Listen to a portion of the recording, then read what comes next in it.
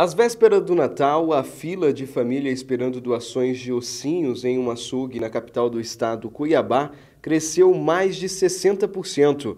Algumas pessoas chegaram na tarde do dia anterior e outras durante a madrugada. Eram tantas pessoas à espera que a fila se estendia por cerca de cinco quarteirões.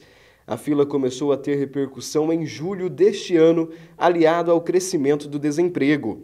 Desde então, o número de interessados só aumentou.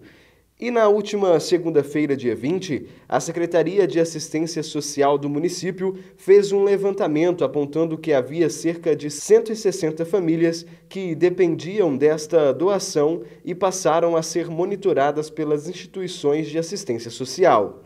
Mas ontem, quinta-feira, a equipe do açougue que trabalha na organização dos beneficiados distribuiu 402 senhas, ou seja, o número de pessoas que compareceram no local foi mais de 60% maior que o que buscou doação no início da semana. Além dos ossinhos doados pelo açougue, foram entregues cestas básicas. Cada pessoa recebeu três cestas básicas, o kit completo contendo alimentos básicos, produtos de limpeza, marmitex e um saco com ossinhos.